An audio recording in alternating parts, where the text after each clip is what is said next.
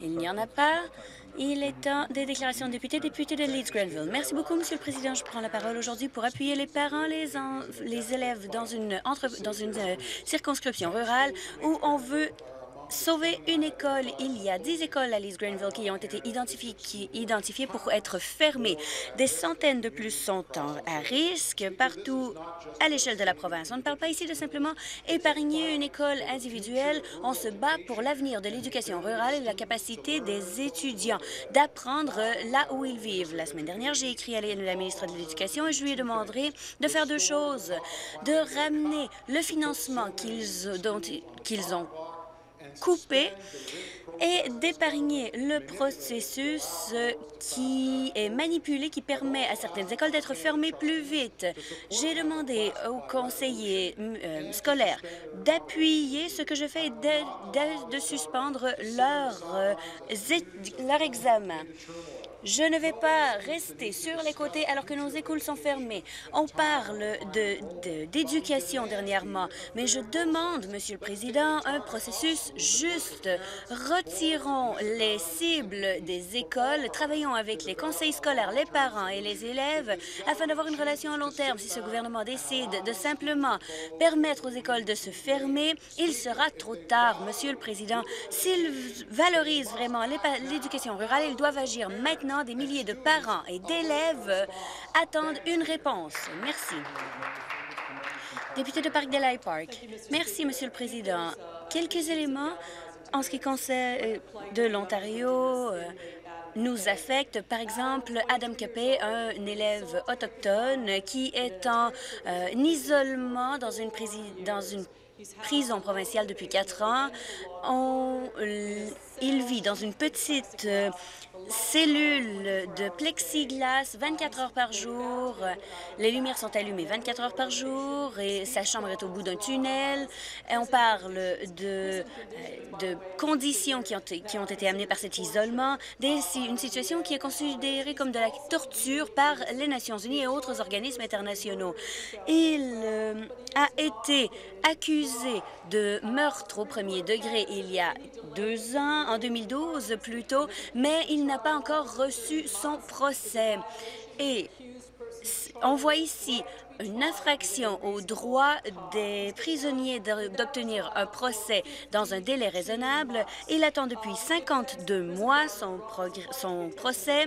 Nous avons soulevé sa situation auprès du commissaire euh, aux droits de la personne de l'Ontario, mais ça ne devrait pas être nécessaire de passer par un tel processus. C'est terrible. Ça nous entache la réputation de l'Ontario à l'international et le public demande immédiatement que qu'il soit relâché de, de sa cellule d'isolement et que ceux qui permettent à cette situation de se produire d'être redevables. Merci. D'autres présentations, la députée de Mississauga-Brampton Sud. Monsieur le Président, je suis heureuse de partager avec cette Chambre une nouvelle excitante. Le 26 octobre, les résidents de ma circonscription ainsi que de notre collectivité, a appris que notre gouvernement amènerait un site, une d'études universitaires à Brampton. C'était significatif comme annonce pour s'assurer que notre, les prochaines générations aient un avenir brillant devant eux. On se concentrera sur la science, la technologie, l'ingénierie, les arts et les mathématiques à cette université. Alors que nous allons vers une économie fondée sur les connaissances, cette institution, ce qu'on peut préparer les étudiants aux emplois d'aujourd'hui et de demain, ainsi que de leur offrir des possibilités pour des formations et le développement des habiletés qui sont nécessaires afin de répondre aux besoins de notre économie. Cette institution répondra aussi aux besoins de la population croissante de notre région et s'assurera que les étudiants qui veulent de meilleures possibilités d'éducation puissent obtenir cette éducation plus près de chez eux. Ça fait partie de notre initiative de notre, de notre gouvernement vers euh, une collectivité dynamique et un excellent, une excellente région où vivre et étudier. Merci. D'autres présentations de députés. Bruce Gray Owen Sound. Merci beaucoup. Je prends la parole aujourd'hui pour féliciter Marilyn Morris, euh, son comité organisateur et ses bénévoles, euh, où elle a organisé un festival des corbeaux à Bruce Gray Owen Sound. Nous avons célébré nous avons célébré les épouvantails, en fait, dans ma circonscription. Il y en a qui étaient même sur des bicyclettes depuis le début en 96 de ce festival. C'est un festival qui est très populaire auprès des locaux et des touristes et a reçu des prix provinciaux et internationaux. C'est grâce aux bénévoles, aux organisateurs, la générosité des commanditaires que ce festival familial des épouvantails a si bien réussi au cours des 20 dernières années. En 2012, nous avons essayé d'avoir le de battre le, record Guinness de du plus grand nombre d'épouvantails, mais malheureusement, nous ne l'avons pas battu. Aujourd'hui, nous avons 300 bénévoles pour trois des données qui donnent 3000 heures de travail. Un homme a été euh, représenté a été reconnu pour son pour son travail sur ce festival. J'invite toute la Chambre à féliciter George Petotnik, Marilyn Morris et sa collectivité pour faire en sorte que ce festival soit une grande réussite. Merci. D'autres déclarations de députés, la députée de London Fenshaw. Merci, Monsieur le Président. Je suis très heureuse de parler d'un projet qui se passe dans ma circonscription. Le programme s'intitule Voix positive et a été organisé par le personnel de No Kick Way, un centre d'éducation et d'emploi à London Fenshaw. La philosophie de ce programme vise à amener un espace sécuritaire pour l'autonomisation des femmes autochtones. Les organisateurs atteignent cela par un système euh, qui, où on élabore de bonnes visions de vie et de l'action par les médias et la technologie. Ce programme aide à autonomiser les femmes alors qu'elles font la transition vers euh, une possibilité d'emploi ou éducative différente. J'ai été à ce centre, j'ai été à leur session, j'ai été impressionnée et captivée par les femmes que j'ai rencontrées et voir à quel point ce centre change leur vie. Ce sont des femmes qui ont des parcours très différents. Leur âge va de 20 à 50 ans et elles ont toutes battu les difficultés auxquelles elles ont fait face, mais partagent le même objectif de réussir le prochain chapitre de leur vie. Il est clair que ce programme euh, a été créé pour faire exactement cela. Je voudrais féliciter Nokikwe ainsi que les organisateurs de ce programme Voix positive pour avoir partagé leur histoire avec nous, avec ce centre. Merci. D'autres déclarations de députés, la députée de Davenport. Merci, Monsieur le Président. Je prends la parole aujourd'hui pour féliciter et donner mes meilleurs euh, vœux à euh, l'Église de Paddington, qui célèbre son 26e anniversaire euh, en fin de semaine. Je voudrais les féliciter pour la belle célébration qu'ils auront avec une messe et une réception. Cette église Pentecôte euh, est, très essentielle dans ma circonscription, une belle congrégation qui vient de différentes nationalités et cultures et partagent une chose. Ils sont des... Euh, ils euh, célèbrent Jésus-Christ. Cette congrégation était appelé l'Assemblée Christiana par le révérend Solfuto et euh, par le révérend Luigi Polito. ce groupe a construit et établi l'église qui existe aujourd'hui, qui est à 686 sur l'avenue Ossington. En février 2003, Robert David Quackenbash a été à cette église pour mener une messe. Aujourd'hui, beaucoup de personnes se joindront à leur célébration dimanche.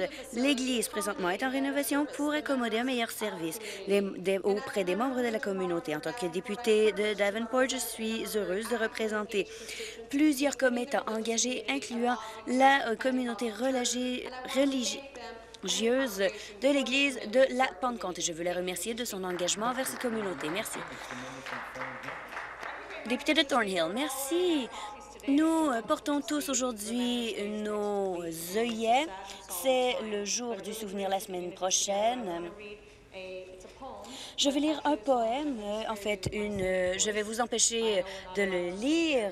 Je sais que nous ne sommes pas en que nous ne voudrions pas entendre m'entendre chanter. On dit le pavot poussent sur les tombes et me rendent brave. Nous devons nous rappeler, afin de ne pas oublier, ne me laisser, que je ne sois pas oublié. Je ne veux pas quitter la bataille. Ces blessures prennent du temps à guérir, créer des cicatrices. Ne me posez pas la question, je ne sais pas, mais il est beaucoup trop tôt pour quitter. Mais vous êtes là et vous me voyez quitter. Ne me laissez pas euh, être oublié puisqu'il y a toujours une bataille dans mon esprit. Si vous me donnez la main, je, vous donnerai la mienne. Ne me laissez pas être oublié, puisqu'il est impossible de m'éloigner de la bataille dans mon esprit. Rappelons-nous aujourd'hui, donc, et la semaine prochaine, de, nous allons déposer un projet de loi pour avoir une, la semaine du jour de souvenir, pour que l'on se rappelle pendant une, une semaine complète. Et rappelons-nous aussi la raison pour laquelle nous nous sommes battus, c'est-à-dire notre démocratie. Merci. Mes compliments à votre nièce. Député de Timiskaming Cochrane. Pour la première fois ici, je vais citer le Toronto Star. L'Orignal ontarien a besoin de notre aide pour survivre. Et c'est pour vous rappeler que les chasseurs d'orignaux sont très importants dans notre circonscription. C'est une tradition pour nous. Et la chasse fait partie du patrimoine de beaucoup de gens. Ce n'est pas la faute du gouvernement nécessairement, mais il y a beaucoup de choses que le gouvernement peut faire immédiatement afin d'aider à cette fin. C'est une crise, en effet. La première chose, c'est d'avoir vraiment un bon financement du ministère des Richesses naturelles. Dans ma circonscription, nous avons deux agents de, conservation pour 50 euh, comtés. On ne peut pas euh, gérer une telle population. Le ministère doit agir afin de bien recenser les orignaux. Nous, il doit y avoir un décompte fait à chaque trois ans, mais il est fait aux cinq ans. Encore une fois, c'est une crise. Il faut passer le temps et l'argent pour bien réussir ici dans cette situation. Tous les orignaux les, toute la chasse aux orignaux devrait être notée et dans certaines parties de la province, les orignaux étaient présents. Je peux vous assurer, il y a encore beaucoup d'orignaux parce que j'en ai frappé en voiture il y a un mois et je veux remercier Frank de m'avoir aidé dans cette situation. Merci beaucoup. D'autres déclarations de députés? Député d'Eglinton Lawrence.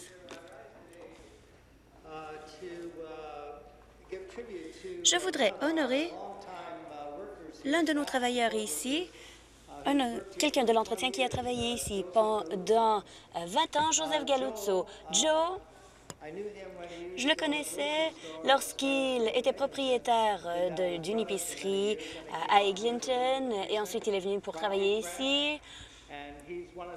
C'est un des incroyables travailleurs dévoués que nous avons ici à l'Assemblée. Il s'occupe de notre chauffage, notre nettoyage, notre plomberie, les meubles. Nous avons une excellente équipe de travailleurs professionnels ici à Queen's Park et Joe en a fait partie il a aimé chaque jour où il a travaillé ici. Lorsque vous le voyez, Joe ici, il a toujours un sourire, il est toujours heureux de travailler. Une chose que je veux mentionner aussi, c'est que lui ainsi que les autres travailleurs font le même travail que les professionnels le font à la mairie de Toronto. Pourtant, ils font 5 à 10 dollars de moins l'heure que les gens qui font le même travail à un kilomètre d'ici. Et je crois qu'il faudrait le reconnaître. Tout particulièrement à la Commission de la Régie interne. Euh, oui, nous avons eu un gel des salaires ici depuis très longtemps, mais ce n'est pas juste de geler le salaire du personnel. Il est temps d'augmenter le salaire des gens qui sont ici, qui travaillent ici. Merci. Je n'ai rien d'autre que de l'admiration pour Joe et on lui souhaite une bonne retraite. Député de Scarborough-Rouge River, rappel au règlement. Merci, Monsieur le Président. Je suis très heureux d'accueillir des élèves de ma circonscription à la cinquième année de C.D. Ferguson Jr., l'école publique. Et je les accueille ici au Parlement provincial. Merci beaucoup. Je remercie tous les députés de leur déclaration. Il est maintenant temps des rapports de comité.